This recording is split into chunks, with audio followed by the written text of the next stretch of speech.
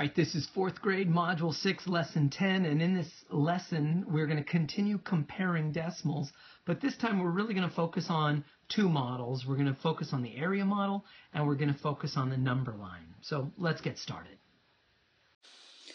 So on this set of problems, we're being asked to use the area model in order to compare our values. And so the idea is uh, we're going to start with this first one right here. And so we're going to look at that 0.19.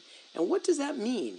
Well, 0.19, we need to remember that that is 1 tenth plus 9 hundredths. All right? And then the 0.3, what does that mean? Well, that means 3 tenths, and there's nothing else. So if we wanted to, we could call it 0 hundredths if we really wanted to. So we're going to use these pieces of information to shade in our area. So I'm going to zoom in a little bit here. And the idea is first, we've got right here 0.19. So that means we're going to shade in 1 tenth plus 9 hundredths. So 1 tenth is going to look like, boom, there's our 1 tenth. Now, what is, how are we going to shade in the 9 hundredths? Well, what we need to do is we need to cut this tenth right here into 10 pieces. So we're going to cut that up into 10 pieces. So I'm going to cut it in half, and then I'm going to cut each half into five pieces. And because we are doing, we, we need to shade in 9 hundredths, I'm going to zoom in, and we need to shade in, whoa, zoom in and shade in 9 hundredths. So that's going to be 1, 2, 3, 4, 5, 6, 7, 8, 9.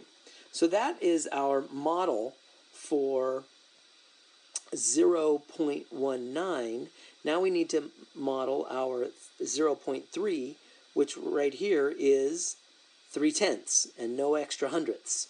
And so let's let's do that. We're going to zoom in a little bit and we are going to shade in 3 tenths. So that's 1, 2, and 3. So there is our shading in for 3 tenths. And it that immediately makes it super easy to compare. We can see that this only has one tenth, while this has 3 tenths. Case closed. We're done. It doesn't matter that we have these extra 9 tenths here because these 3 tenths beat this one tenth and case closed. We are now done. So what symbol are we going to use? We're going to use the less than symbol because the smaller end is on the small number and the bigger end is on the big number. That's another way to use your little mnemonic to, for figuring out how that does, uh, how which which symbol to use instead of just saying, well, the alligator eats the bigger one. We could say this smaller side goes with the smaller number, bigger side goes with the bigger number. Now we're being asked to use a number line to compare our decimals. So what we're going to do, let's do 18 and uh, 18.19.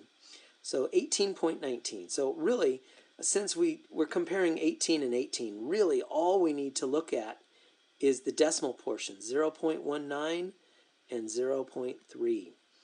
And that 0.19, we need to remember that's one tenth plus 9 hundredths, whereas this is just 3 tenths. Well, that's that's exactly like the problem we just did because it's the same ends up being the same. But let's let's show what that looks like on this number line. So you'll notice our scale. Here's 0, uh, 18 and 1 tenth. Here's 18 and 2 tenths. This is saying 18 and 1 tenth plus 9 hundredths. So these little dashes are actually the 9 hundredths. So 18.19 is going to go right here. 18. so that's 18 and 1 tenth. And then 18 and 1 tenth plus 9 hundredths is right here. So I'm going to write that down 18.19. And now, where does 18.3 go? Well, we can see it. It's right here. 18.3 is right there.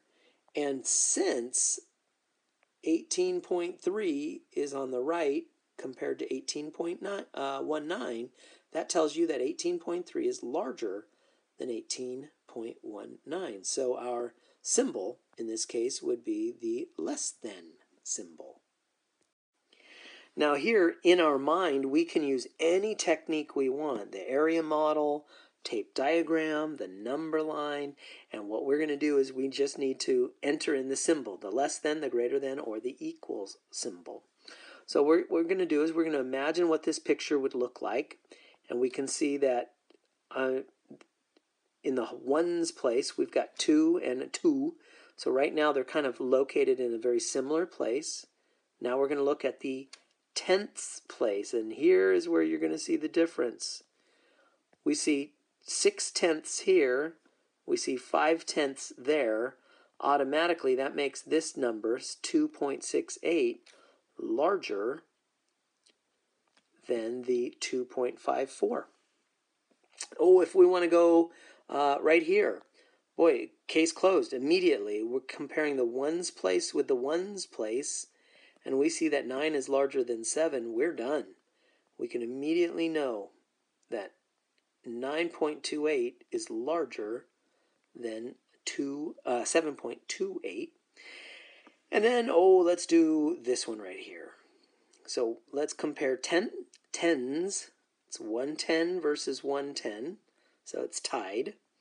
And then let's look at the ones place. And we've got three ones versus 3 1, so it's still tied. Now let's look at the tenths place, and we've got 1 tenth versus 1 tenth. It's still tied. And then we see that this guy has no hundredths. What about this guy? Well, he has no hundredths either because they didn't even write it down. So, what does that tell you about these two numbers? It tells you that they are equal. Another way we could think of that is we know that 13.1 is the same thing as 13 and 1 tenth. Now 13.10, 13.10 is the same thing as 13 and 10 hundredths, which if we divide both the numerator and the denominator by 10, then we get 13 and 1 tenth, which is the exact same answer right here. So that tells us they're equal. Another way we could think of that, let's think of that 13 and 1 tenth. I mean, 13.10. What does this mean? Well, this means I'm going to ignore this portion right now. Let's just look at the decimal. That decimal says you have 1 tenth, and this means you have zero hundredths. So one tenth, done. That's another way to show that it's equal to 13.1. So we got a lot of ways for our students to be thinking about it, not to mention they could have used the area model or the number line model. More of the same, only this time they're throwing in the unit form of these numbers. So 57 tenths we learned is 5.7. So that means these two guys are equal. Oh, let's uh, let's look at this one right here. So let's see. This is 8.39, 8 and 8 wholes, 8 ones, 3 tenths, and 9 hundredths. All right? And But here, we've got 8 wholes, 8 ones, but this right here, 39 tenths. So I'm going to decompose this to 8 and, and this becomes 3 and 9 tenths. Because 39 tenths is equal to 3 wholes and 9 tenths. So altogether, this is equal to 11 and 9 tenths. So that tells us that the number on the right is larger than the number on the left. Oh, last one. We could do we could do this. Three tenths and twenty-two hundredths. Well, three tenths. well, for, let's take a look at twenty-two hundredths first. So if we look at twenty-two hundredths and we're thinking about a place value chart, So you got your hundredths, you've got your tenths, you've got your decimal, and you've got your ones. Now, if you had 22 hundredths, that means you've got 1, 2, 3, 4, 5, 6, 7, 8, 9, 10, 1, 2, 3, 4, 5, 6, 7, 8, 9, 10, and 1, 2. So there is our 22 hundredths. But we have to remember that we can take these 10 hundredths and they equal one tenth. And then we can say that these 10 hundredths equal one tenth. So these get exchanged. These got exchanged. So what do we end up with? We end up with two tenths and two hundredths left over. Two tenths, two hundredths. And so really, this is 0.22 and this is 0.3 and we can see that 3 tenths is larger than 2 tenths. Done. That means the symbol is the greater than symbol.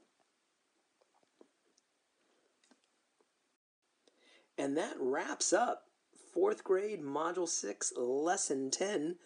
We're using the area model and the number line to compare decimals.